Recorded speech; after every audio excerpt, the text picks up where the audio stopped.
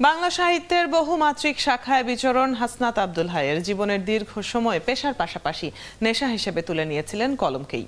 বার্ধক্যকে তুড়ি মেরে উড়িয়ে দিয়ে যেন বিরামহীন গতিতে বিচিত্র প্রকরণে লিখে চলেছেন এখনও ছিয়াশি পেরিয়ে হাসনাত আব্দুল হাই পা দিয়েছেন সাতাশি বছরে। বাংলা সাহিত্যে অবদানের জন্য তিনি একুশে পদক পেয়েছেন।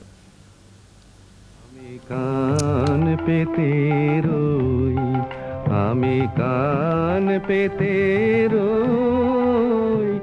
বয়স তখন তিন কি চার। বাইরে যাওয়ার অনুমতি মেলেনি লেখক হাসনাত আব্দুল হায়ের। তবে জানালার পাশে দাঁড়িয়ে ছোট্ট বয়সে তিনি যেন কান পেতে শুনেছিলেন পৃথিবীর বার্তা। একটা গান আমার খুব ভালো লাগতো উনি প্রায়ই গাইতেন আমি কান পেতে রই। কান পেতে রই। তো এখনও যখন এই গানটা আমি শুনি আমি কান পেতে শুনি। আমাকে এই গানটা আমার শৈশবে নিয়ে যায় সেই রানাঘাটের দিনগুলোতে। জীবন জীবিকা দুর্ভিক্ষ সংগীত মৃত্যু যুদ্ধ সবকিছু জেনেছিলেন ছোট্ট বয়সে। আমি জানলার শিখে শিখ ধরে আমি বাইরের সমস্ত কিছু দেখতাম। যে বাইরে একটা পাকা ইদারা ছিল সেখানে সকাল থেকে সন্ধ্যা পর্যন্ত নানান ধরনের লোক আসতো। কল্পনার মানচিত্রে তিনি যে পৃথিবীর ছবি এঁকেছিলেন ঘর থেকে বেরিয়ে তা তুলে ধরেছিলেন তার ভ্রমণ কাহিনীগুলোতে।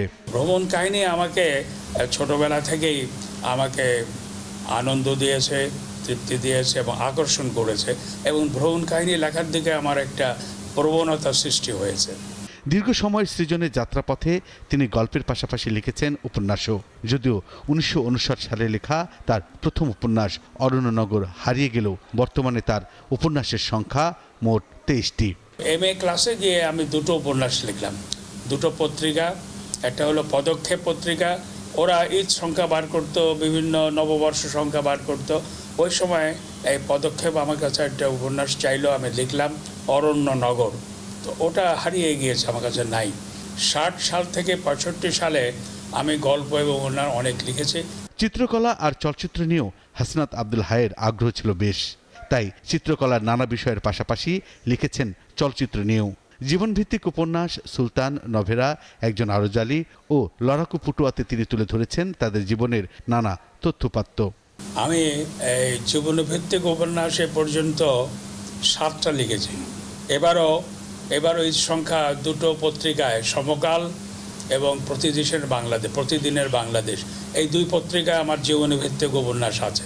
নিরীক্ষাধর্মী লেখার অংশ হিসেবেই তিনি লিখেছেন নন্দতত্ত্বের নানা দিক নিয়েও। প্রাগৈতিহাসিক কাল থেকে আধুনিক সময়ের শিল্পের বিবর্তন আর শিল্প ও বাস্তবতার দার্শনিক তত্ত্বের বিশ্লেষণে তিনি তুলে ধরেছেন শিল্পের জন্য শিল্পের নিজের দর্শন ভাবনাকেও। নন্দতত্ত্ব বিষয়ে আমার যে আগ্রহ, এটা কিন্তু সুলতান উপন্যাস লেখার আগে থেকেই। বিশুদ্ধ শিল্পের চর্চা এবং জীবনমুখী শিল্পের চর্চা। এই দুটো নিয়েই কিন্তু আমি যে নন্দতত্ত্বে বিশ্বাস করি এই দুটো নিয়েই সেই নন্দতত্ত্ব। এত কিছুর পরেও যেন বাকি রয়েছে অনেক কিছুই। তাই সাতাশি বছরে এসেও তিনি লিখে চলেছেন অবিরাম।